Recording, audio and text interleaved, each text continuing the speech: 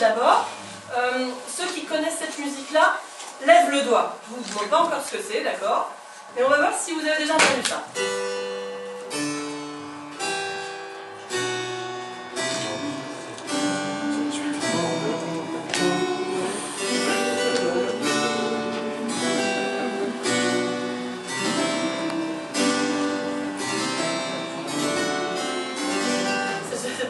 Chanter avec, hein D'accord.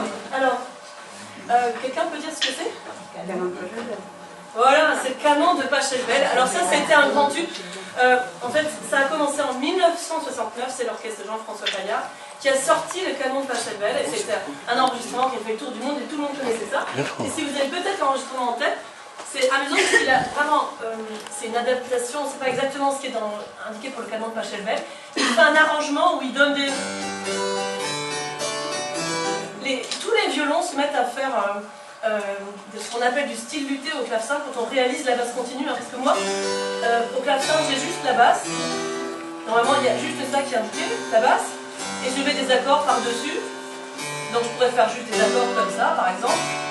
Mais Jean-François Paillard, la voilà, et c'est peut-être ce qui a donné ce grand succès au canon de Pachelbel.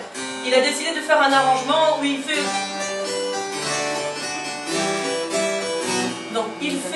un peu comme si on jouait euh, du luth tout le temps ou bien de la harpe, et c'est les violons de son orchestre qui font tout ça. Si vous connaissez cet instrument, vous pouvez le réécouter. Mais maintenant, vous avez une version historique. Voilà. Alors,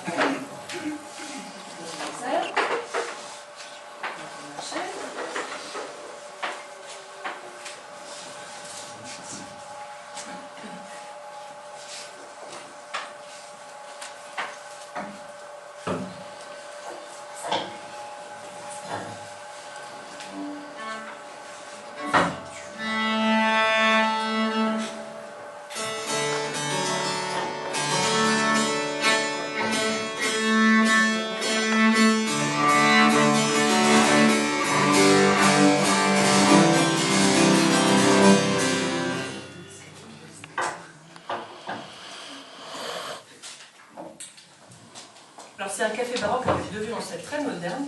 Et je vous parle de Jean-François Paillard en plus. C'est pour vous dire hein, le côté exceptionnel du, moment. Mais c'est génial parce qu'elle joue dans une position très baroque pour le coup. Clara.